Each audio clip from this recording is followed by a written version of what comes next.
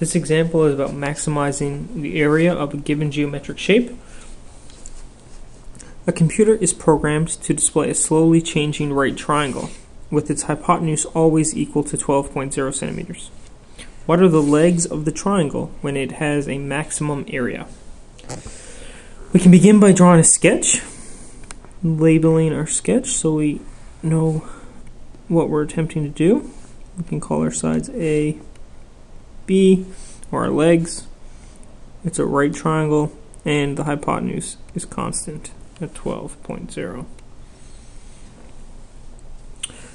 We need a primary equation, which is the equation of the thing we want to minimize or maximize. In this case, we want to maximize the area. So our equation is going to be 1 half the base times the height, or in this case, b times a, or half ab. We need a secondary equation now to replace one of our two variables. Since we have a right triangle, we can use Pythagorean theorem, or 12 squared equals a squared plus b squared. And we choose one of the variables to solve for. It doesn't matter which one. If we solve for a, we get the square root of 12 squared is 144 minus b squared. We know a, we bring it over here, we plug it in.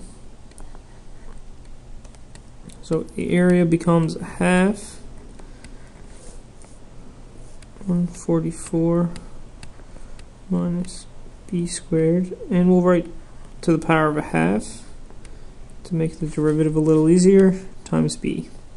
Of course, because this has an exponent, we can't bring in the b to make the differentiation any easier, so we have to use the product rule. So the derivative becomes 1 quarter 144 minus b squared to the power of negative a half times the derivative of the inside, which is negative 2b, times b, product rule, derivative of the first, keep the second, plus we'll keep the first, which is a half 144 minus b squared and derivative of the second is 1. So, we're going to set the derivative equal to 0 to find the maximum value for b. Or sorry, the value of b that maximizes the area. Uh, looks again like most of these questions like there's a lot of algebra. Because we have a negative exponent, it's going to be a denominator and in most cases it ends up canceling. Here we can do a little simplification. The 1 quarter and the 2 reduce this to a half. This is negative, so we're actually going to move it to the left and try to save ourselves some work here. So it becomes b squared positive because it's on the left now over the quarter and the 2 give us a half, and then we have 144 minus b squared to the power of a half, which we put in the denominator. That's this part, a little simplified and moved to the left, equal to 144 minus b squared. Don't forget this is to the half.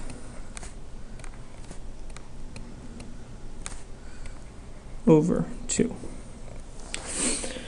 Now, we're not seeing the cancellation that we have in previous problems, but cross multiplying here, we can cancel the 2's. We end up with b squared equal to since these brackets are the same, power of a half, a half plus 1 gives us 1, so that is simply 144 minus b squared. So we got rid of the roots, which did make this easier. Bring over b squared, we end up with 2b squared equals 144, which is b squared equals 144 over 2, so 72. And b equals square root of 72, which simplified is 6 root 2. So there's the b value that gives us the maximum area. It asks for the legs of the triangle, so we need a and b. We know a from this equation, so a is equal to the square root of 144 minus b squared.